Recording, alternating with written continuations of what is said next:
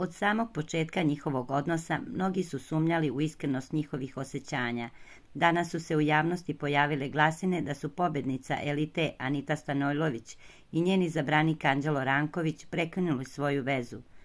Ovim povodom Stanojlovićeva se oglasila za domaće medije, te demantovala glasine o raskidu.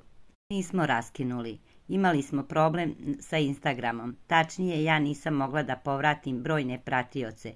Iz tog razloga su me posavetovali da zaključam profil kako bih dobila više pratilaca. U međuvremenu se Anđelu sa profila obrisalo sve zajedničke fotografije.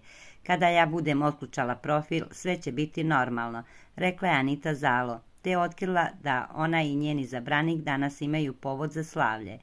Anđelo i ja danas proslavljamo mesečnicu i pripremila sam mu iznenađenje. Sa nama je sve u najboljem redu.